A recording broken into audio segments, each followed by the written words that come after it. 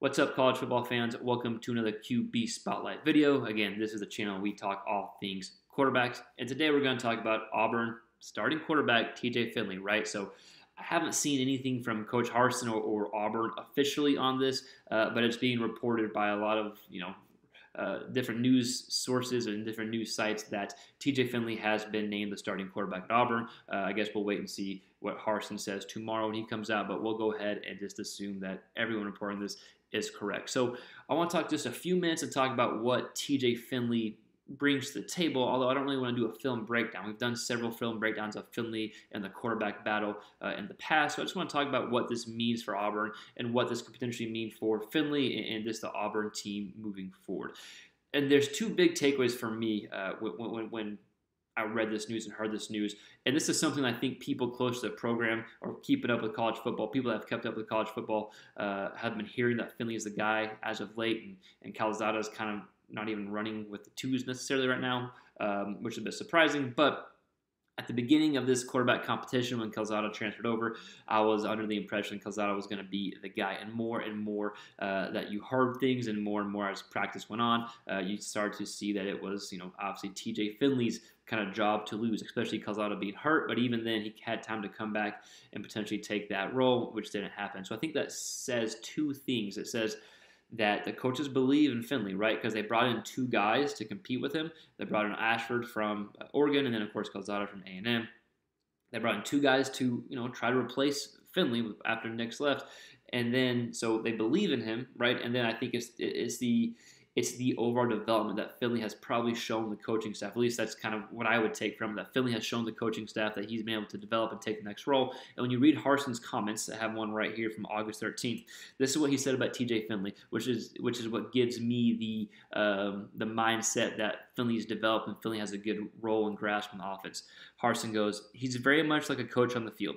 He conceptually picks things up very quickly, listens to the details and the little nuances of the plays. If there's a coaching point made, not just for him, but for everybody, he'll remember that coaching point and be able to echo it whenever it comes up. So I think that's a good takeaway if you're an Auburn fan that hey Finley's developed and, and, and like last year, I know he he lost the three starts that he had, but he was the quarterback when they almost beat Alabama, right? And so there's something to be said there. Um, and now we're looking at some of the old clips of him at LSU, just for the simple fact that I don't have all the clips from his his uh, his season last year. He was at Auburn, uh, but we all know that Finley brings a big, strong arm. He's a pocket passer, can move a little bit when he needs to, but I do think he fits Harsin's system. And this is his second year under Harsin. I know it's a different OC, uh, but Harsin probably has some type of, of role within the offense, and so I don't think it's going to be too too different uh, for Finley to pick up uh, this year compared to what it was last year. So I think experience was a big thing for Finley, and I think this is overall development and the fact that he held off,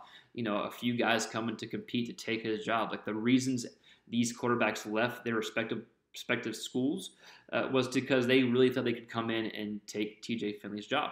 And so I think that there's a lot of credit to go to TJ Finley for being able to compete and hold on to this job.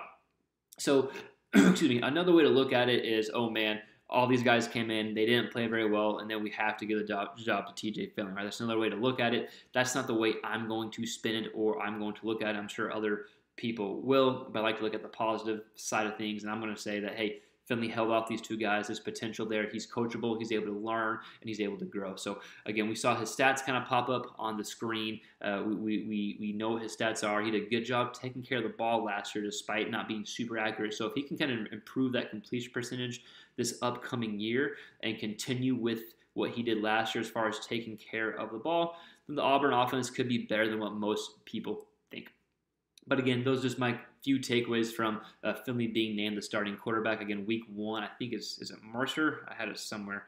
Uh, forgive me if I'm wrong, but I don't think it's a very big game. So hopefully, it shouldn't be much of a challenge there. And then as the season goes on, you know, we should really see. Um, see kind of the development, the steps that Finley has taken. But again, I think it's I think it is uh, it's encouraging if you're an Auburn fan to know that Finley is still the starting guy. They brought in two guys, and he was able to hold off those two guys uh, and then take or keep the starting job, if you will, uh, and progress forward. So again, his experience under Harsin, right, uh, and then his what we think is his his overall development and being able to develop and just get get better as a quarterback. So that's something that that a lot of fans and media people don't uh, give quarterbacks enough time. That's just to develop and get better, right? This is only his third year in college.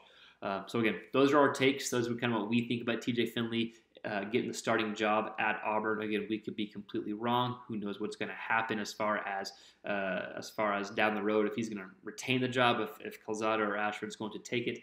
We don't know, but for right now, we're going to have a positive spin on it, and we think this is good for Auburn moving forward. But we want to hear from you. What do you think about this news? What do you think about Finley being named the starting quarterback. Uh, Auburn fans, let us know in the comments below. Just SEC fans, just college football fans in general, let us know in the comments below. And we'll see you next time on the next quarterback related video.